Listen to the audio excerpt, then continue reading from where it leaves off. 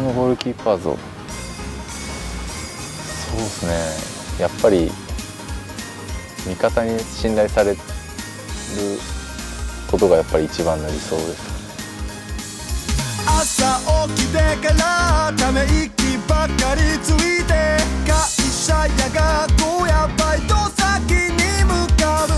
まあみんなまあ仲がいいというか本当いい意味で、まあ、切磋琢磨できてるかなと思いますただのゴリラです。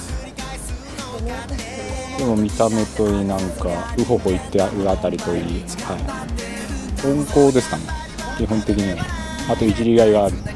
竹尻君主催でよく鍋を開いてくれる。それを楽しみに頑張ってます。性格的にはすごく温厚じゃないですか。温厚だけどただ時々変わっときて劇場化になる時ありますけどね。どっちかっつったら弟的存在ですかね。ケチケチしてて全然怒ってくんないです。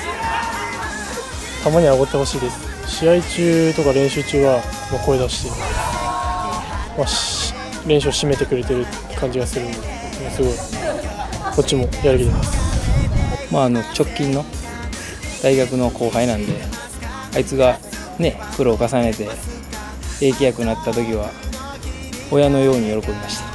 真面目っすよ。やっぱり大学時代そのレギュラーで出ながら趣務してたっていうぐらいいろんなことに目が回るし。いや率先してはなかったんですけど、まあ、ちょっとやる人がいなくて。やることまあまあありましたけどまあ周りのみんなもマネージャーとか他の後輩とかも助けてくれてたんで、まあ、同い年のやつとかも。だからそうですね。まあ怒られること結構ありましたけど。はい。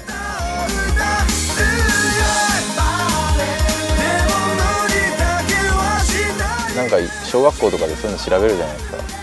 その時に親に聞いたらなんかもう最初ずっと兄2人だったんで3番目女の子だと思ってたらしいんですよ。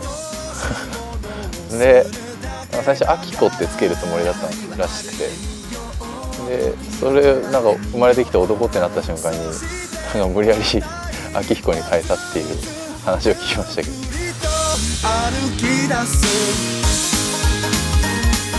そうですね本当毎日毎日一生懸命というかやんないとダメなんで自分には本当いい環境だと思います